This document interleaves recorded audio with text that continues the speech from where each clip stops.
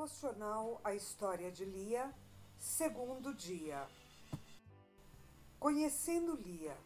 Lia é descrita na Bíblia como tendo olhos meigos ou sem brilho.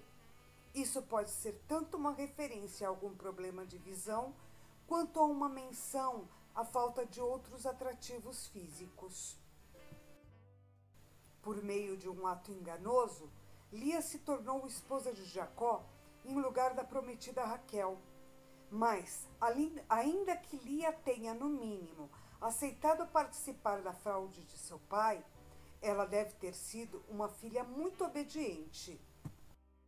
Obviamente, ela amou Jacó e se devotou a ele no casamento, embora tenha sofrido por ter sido objeto da decepção e do desprezo do marido, assim como por ter sido cúmplice de seu pai.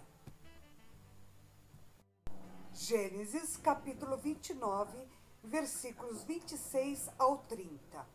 Labão respondeu: Aqui não é costume entregar em casamento a filha mais nova antes da mais velha. Deixe passar esta semana de núpcias e daremos a você também a mais nova, em troca de mais sete anos de trabalho.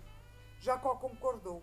Passou aquela semana de núpcias com Lia e Labão lhe deu sua filha Raquel por mulher. Labão deu a Raquel sua serva Bila para que ficasse a serviço dela. Jacó deitou-se também com Raquel, que era a sua favorita, e trabalhou para Labão outros sete anos. Conversar. Com base na leitura de hoje, o que Deus está dizendo para você? Deixe os seus comentários escritos abaixo.